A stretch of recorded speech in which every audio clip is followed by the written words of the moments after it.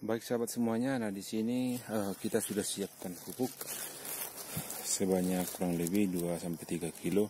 Nah, ini adalah pupuk uh, mutiara kompleks ya ataupun perfect ya. Jadi pupuk ini mengandung unsur hara kalium lebih tinggi ketimbang unsur nitrogen dan fosfat. Demikian juga dengan unsur-unsur hara mikro lainnya seperti mangan, boron, zinc, uh, molybdenum ya.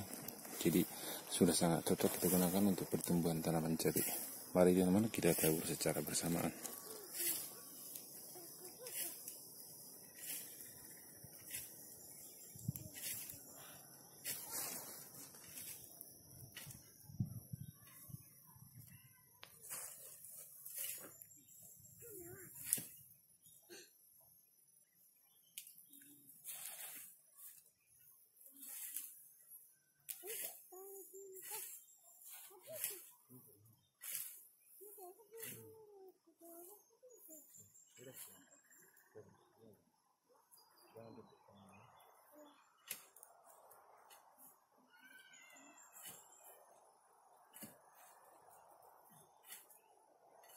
Pulang jet yo.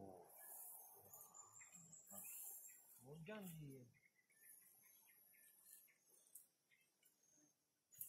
Jangan masuk ke atas ini.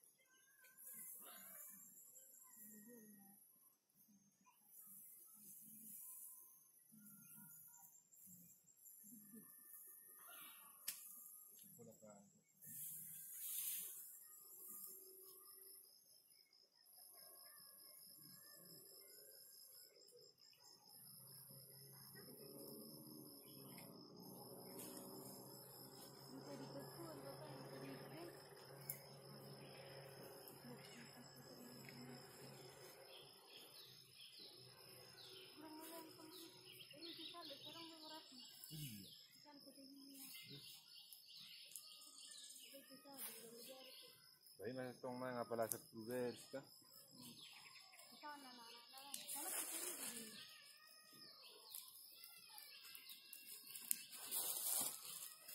Ya, udah udah udah bisa itu.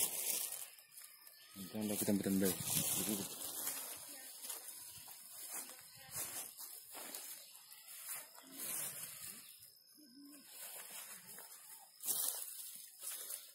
Baik teman-teman setelah kita tabur seperti yang kita lihat di bedengan ini setelah ini mari kita uh, selanjutnya kita tabur sedikit kompos organik ataupun kompos bokasi padat nah selanjutnya untuk kita siram kemudian kita uh, tabur benihnya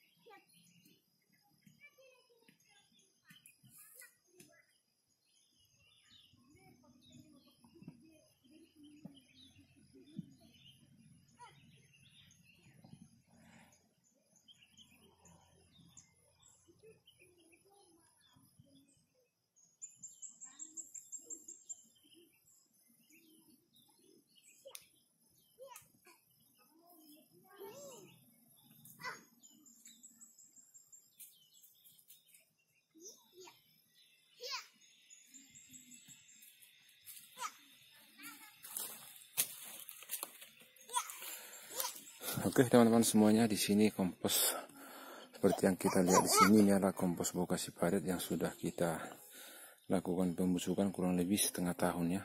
Jadi kompos ini sudah kaya akan mikroorganisme. Jadi sudah sangat cocok kita buat sebagai pupuk dasar untuk penanaman uh, cabai ataupun penyemayan bibit cabai. Jadi tidak terlalu banyak penggunaannya teman-teman, cukup sedikit saja hanya untuk sekedar menutup pupuk tersebut.